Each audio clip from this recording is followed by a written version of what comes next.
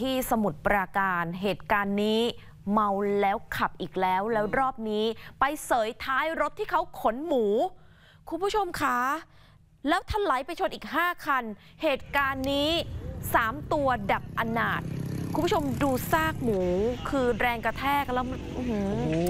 ภาพมันอุจาดอะอืมแต่ส่วนหนึ่งเป็นหมูที่ชำแหละออกมาแล้ว คุณผู้ชมค่ะรถครับขนหมูที่ชำแหละมาแล้วอ๋อแต่เศษซากเนี่ยมันกระจัดกระจายกันไปนะคะ ตามริมถนนคุณผู้ชมดู โอ้โหโอ้เนี่ยเหมือนหมูเห็นภาพแล้วก็หมูสดๆอะใช่มันก็น่าเขากลัวแล่แล้วว่าแล้วกำลังจะขนไปส่ผ่างนโรงเชือดมาแล้วใช่ชำแหละผ่าซีกแล้ว แล้วตกกระจายเกลื่อนพื้นโอ้โหเออหวาดเสียวนะฮะใช่ค่ะ คุณผู้ชมคะเจ้าหน้าที่ต้องช่วยกันเก็บมากองรวมกัน ซึ่งทุลักทุเลพอสมควร เพราะแต่ละชิ้นน้ำหนักคือไม่ใช่น้อยๆอะนะคะ ส่วนต้นเหตุคือเก๋งสีแดงที่เห็นอยู่อะคุณผู้ชมเดี๋ยวดูนะคันนั้นแหละค่ะ ที่คนขับเขาเมาแล้วขับ ขับมาด้วยความเร็วและก็แรง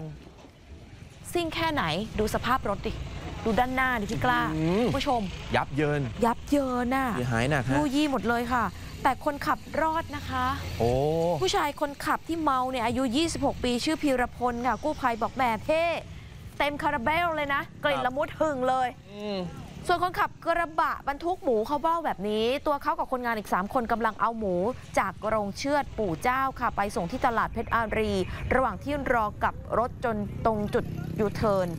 ก็ต่อท้ายรถปาเจโร่สีน้ำตาล จู่จูเก๋งสีแดงขับมาด้วยความเร็วสูง ชนท้ายเขาเข้าอย่างจังทำให้หมู 3 ตัวที่อยู่ท้ายกระบะ โดนอัดก๊อปปี้ ตายทันทีนะคะ